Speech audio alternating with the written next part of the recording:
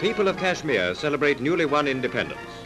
Their rejoicing at the cutting of the Maharaja's oppressive powers is tempered by the realization that Kashmir is the stumbling block to peace between India, represented here by Prime Minister Pandit Nehru, and Pakistan, who sent no representative.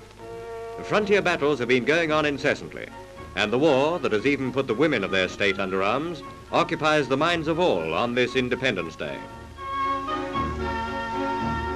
Addressing the crowd, Pandit Nehru speaks of the plebiscite by which Kashmir will be able to affirm its accession to the Indian Dominion.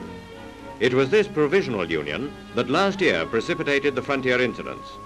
As in the world's other trouble centers, it is the fanaticism that makes soldiers of women which defies solution by the peacemakers. A UNO commission is now on its way to the valley of Kashmir, the scenic beauty of which is world famous. Hopes of a settlement seem dim, for in a country where even young boys are put into uniform and given arms, peace must remain remote.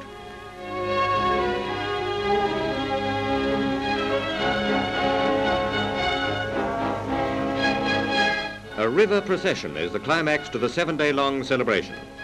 The frontier war recedes as Pandit Nehru, accompanied by Sheikh Abdullah, Kashmir's Prime Minister, says farewell to the people of India's youngest state.